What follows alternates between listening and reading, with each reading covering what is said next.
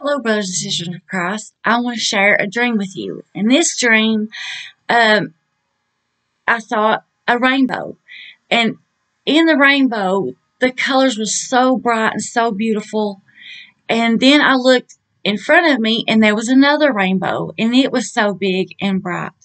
And then I looked back to see if the rainbow was still there, and it was still there. And then I looked closer from where the the rainbow started at the top of the trees, and they was these pillars of light inside each color of the rainbow.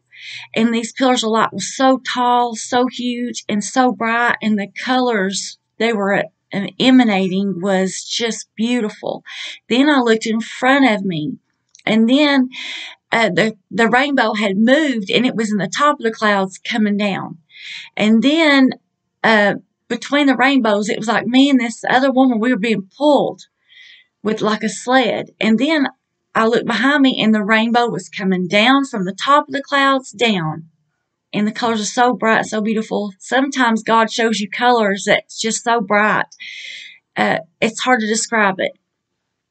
Thank you all, and I hope this video blesses you because it is for each and every one of us.